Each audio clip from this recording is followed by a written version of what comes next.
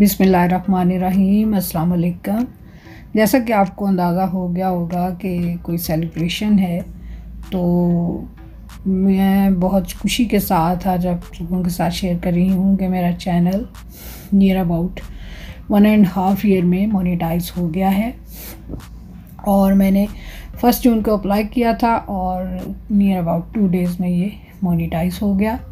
तो ये खुशी है, बहुत बड़ी जो हर यूट्यूबर की एक ख्वाहिश होती है कि उसकी मेहनत का फल मिले उसे, कि उसके फोर थाउज़ेंड आवर्स और वन हंड थाउज़ेंड सब्सक्राइबर जो हैं वो कंप्लीट हो जाएँ। तो अल्हम्दुलिल्लाह, ये टास्क मेरा कंप्लीट हो गया है और इसमें बिलाशुबा आप सब दोस्तों को का बहुत बहुत शुक्रिया। इस खुशी के मौका पर मैं आज आपके साथ शेयर कर रही हूँ एक ख़ास रेसिपी यह है चिकन मंडी। इसमें हमने चिकन के बड़े पीसेस लिए हैं, जो वन के के करीब हैं। इनको हमने एक टेबल स्पून सिरके के साथ सोक कर दिया था। इसका स्पेशल स्पाइसेस मिक्स बनाना होगा हमें स्पाइस मिक्स और इसके लिए जो चीज़ें मैंने लेबल कर दी हैं, आपको नज़र आ रहा होगा, मैं साथ साथ दिखा भी रही हूँ। ये अगर आप बना लें तो कोई भी अरेबियन डिश जो है, जैसे कप्सा और ये मंडी, ये आप घर में भी आराम से बना सकते हैं। ये रेडीमेड भी मिलते हैं, ये मसाले। तो आप वो भी यूज़ कर सकते हैं। लेकिन अगर कोई घर में बनाना चाहे तो मैंने तमाम चीज़ें लेबल कर दी हैं। इसमें से हम तकरीबन दो से ढाई टेबल स्पून के करीब ये मसाला लेंगे। और चिकन के पीसेस आपने बड़े ही लेने हैं। इसके साथ ये बड़े ही सर्व किए जाते हैं। तो इसमें हम डालेंगे तकरीबन तीन टेबल स्पून ऑयल ऑयल ज़रूरी है क्योंकि ये चिकन को जूसी बनाएगा। स्पाइस के साथ हम ये मिक्स कर लेंगे। इसके साथ दो टेबलस्पून लेमन जूस जाएगा और ज़ाफ़रान जो है, उसके कुछ दागे हम पानी में भिगो लेंगे, तकरीबन दो तीन टेबल स्पून के करीब। तो अगर अवेलेबल है तो ज़रूर डालें इस तरह हम ये तमाम स्पाइसेस डाल के और ये सारी चीज़ें इस चिकन को मैरिनेट होने के लिए रख देंगे, तकरीबन 40 से पैंतालीस मिनट के लिए फ्रिज में कवर करके अच्छे तरीके से मल के इसमें ये अब्ज़ॉर्ब हो जाए मसाला। लेमन जूस ज़रूर डालें, उससे चिकन का टेस्ट अच्छा आएगा। और बेसिक जो रेसिपी है वो तो स्पाइस मिक्स में करते हैं ड्राई लेमन जूस और उसी की वजह से इसमें हल्का सा खट्टापन आता है तो लॉकडाउन की वजह से अभी तो मुझे अवेलेबल नहीं था। इसलिए स्पाइस मिक्स में भी नहीं दिखा सकी तो आपको अगर अवेलेबल हो तो ज़रूर डालें, नहीं तो फिर लेमन जूस डाल लें। इसको हम तकरीबन एक घंटे के लिए फ्रिज में रख देंगे और उसके बाद फिर हम इसे स्टीम करेंगे। ये एक बड़ी देचकी मैंने ले ली थी। इसमें तकरीबन दो ग्लास पानी डाल लें नीचे और पानी को थोड़ा गर्म होने दें। उसके बाद इस तरह की छलनी अगर आपके पास है तो आप ये रख के तो इसमें चिकन रख दें और स्टीमर अगर ना भी हो तो इस तरह आप आराम से बना सकते हैं। मेरे पास स्टीमर भी है, लेकिन मैंने आपकी सहूलत के लिए बता दिया, कुछ तो साथियों के पास नहीं होगा। तो इस तरह इसके ऊपर फॉयल पेपर लगा दें। इस तरह ये चारों तरफ़ से कवर हो जाएगा। अगर कुछ थोड़ा बहुत बीच में हला होगा भी तो वो कवर हो जाएगा और सारी स्टीम अंदर ही रहेगी। इसके बाद इसके ऊपर हम ढक्कन लगा देंगे और इसको हमने, इसमें स्टीम करना है। शुरू में हम आँच थोड़ी सी तेज़ रखेंगे। तकरीबन तीन चार मिनट इसके बाद इसको मीडियम टू लो कर देंगे, तकरीबन 35 से 40 मिनट तक हमने ये टाइम इसे देना है। बीच में एक दफ़ा 20-25 मिनट के बाद इसकी साइड टर्न कर दीजिएगा। तो ये इतने टाइम में तकरीबन 35-40 मिनट में बेहतरीन ये चिकन गल जाता है।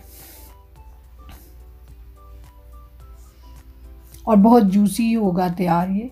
और इस पा, इस पानी को जो इसमें स्टीम दी है हमने, इसे उसे ज़ाया नहीं करना। उस पानी को ही हम चटनी बन चुकी होगी क्योंकि चिकन की स्टीम से।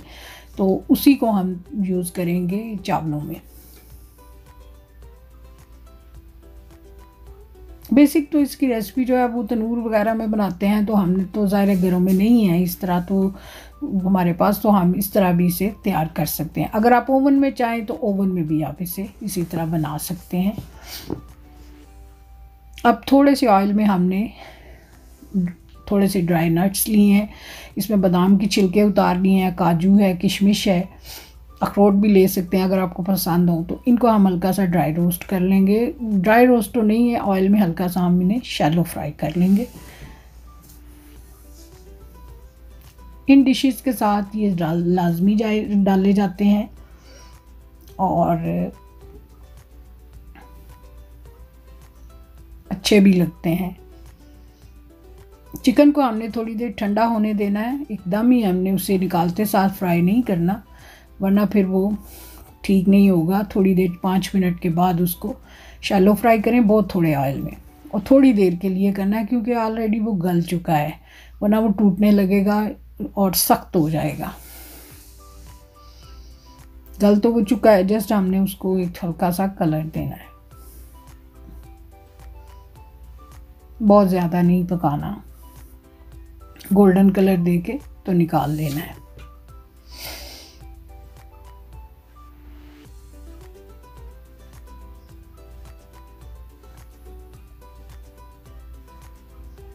नॉर्मली ये डिशेस जो हैं, होटलों वगैरह में रेस्टोरेंट में ही सर्व की जाती हैं।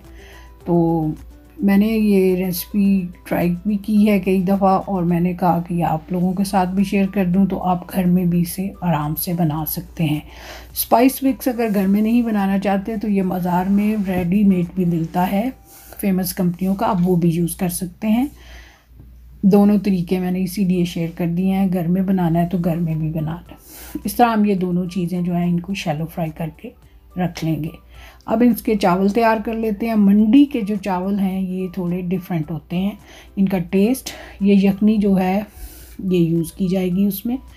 अब एक मीडियम प्याज हमने ले लेना है, जिसको हमने बिल्कुल बारीक काट लेना है।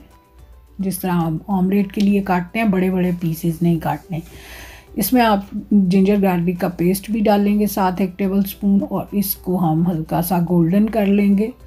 अब इस स्टेज पे इसमें साबुत मसाले डालने की कोई ज़रूरत नहीं, क्योंकि जो हमने स्पाइस मिक्स तैयार किया हुआ है, वो ऑलरेडी उसमें सारी चीज़ें शामिल हैं। तेज़पात, लौंग, बड़ी इलायची, दालचीनी, ज़ीरा, धनिया नटमेग पाउडर और उसके साथ जिंजर पाउडर, हर चीज़ उसमें है। उसके साथ बादियान का फूल भी है। तो वही हम डालेंगे। इसमें आप डाला जाएगा तीन मिर्चों का पेस्ट।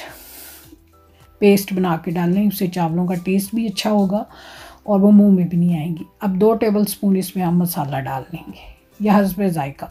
जितना आप चाहें। अपने चावलों के हिसाब से आप एडजस्ट कर सकते हैं। मैंने ये तकरीबन लिए थे छः सौ ग्राम चावल होंगे ये। थोड़ी सी हम ये किशमिश भी डाल देंगे स्टेज में इसके साथ। तीन मिर्चों का पेस्ट बना के डाल लें। काट के डालेंगे तो वो मुँह में आएँगी। तो पेस्ट की शक्ल में वो चावलों में उसका टेस्ट आ जाएगा और ये बिल्कुल क्लियर चावल होते हैं, अगर आपको इतफाक़ हुआ हो खाने का। तो इसमें ये स्पाइसेस नहीं नज़र आ रहे होते, साबित यानी दालचीनी या लौंग, ये वो। इस तरह बच्चे भी खा लेते हैं आराम से। अब वही यखनी हमने यूज़ कर लिया अगर आपके पास कम हो तो आप इसमें पानी भी डाल सकते हैं। अपने चावलों के हिसाब से आप एडजस्ट कर सकते हैं। अब थोड़ी देर ढक देंगे, जब पानी में बॉयल आएगा तो फिर हम इसमें चावल डाल देंगे। नमक वगैरह चख लीजिएगा और नमक फिर आप एडजस्ट कर लीजिएगा। अब जिस स्टेज पे आपको पता ही है, जैसे हम चावल बनाते हैं तो इनमें बबल्स बनना शुरू हो जाते हैं। यानी ये चावल अब दम पे जाने के लिए तैयार हैं। तो इस स्टेज पे अब हम इसमें थोड़े से ड्राई नट्स जो हमने शैलो फ्राई किए थे और थोड़ा सा फ्राइड ऑनियन डालेंगे गार्निश के लिए, क्योंकि अब हमने इन्हें दम देना है। और इस स्टेज पे हम वो चिकन भी के पीसेस भी इसके साथ ही रखेंगे। वो, उससे उनके अंदर भी ये सारे फ्लेवर्स चले जाएँगे और वो नरम भी हो नरम और जूसी रहेंगे सॉफ्ट किस्म के होंगे।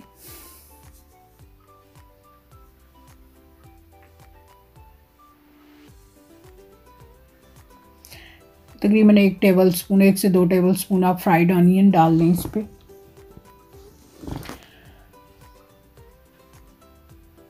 और चिकन के पीसेस रख लें और जो ज़ाफ़रान का वाटर हमने बनाया था, उसमें हल्का सा जरदा रंग डाल लें, थोड़ा सा।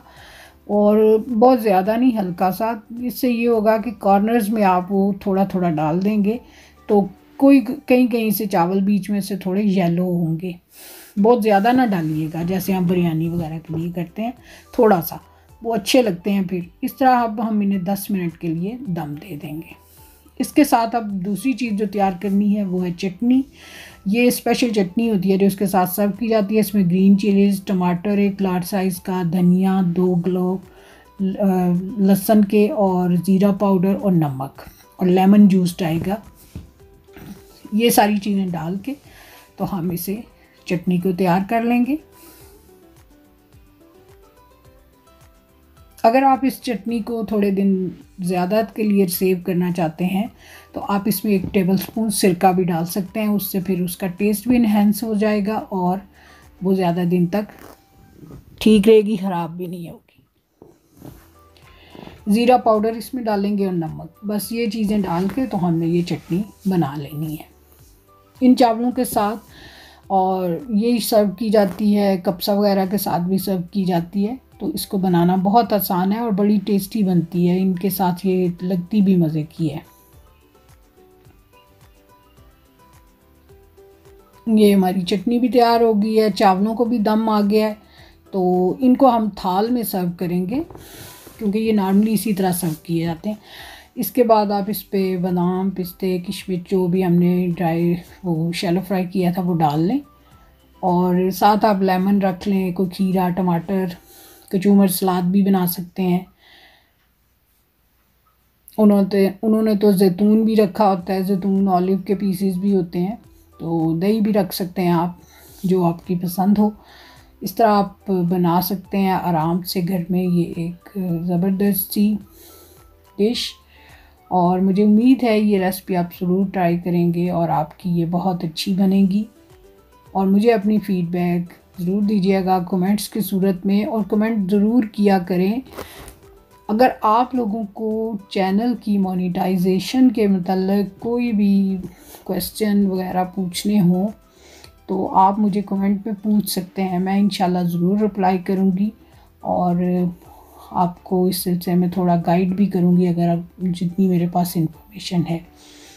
तो मुझे उम्मीद है ये रेसिपी आप ज़रूर ट्राई कीजिएगा और बताइएगा कि ये आपकी घर में कैसी बनी। बाज़ार में जाके ज़ाहिर आजकल वैसे ही लॉकडाउन है तो घर में हम ये, अगर आपके पास चीज़ें अवेलेबल हैं तो ज़रूर बनाएँ। ये मटन से भी बन जाती है और चिकन से भी बन जाती है।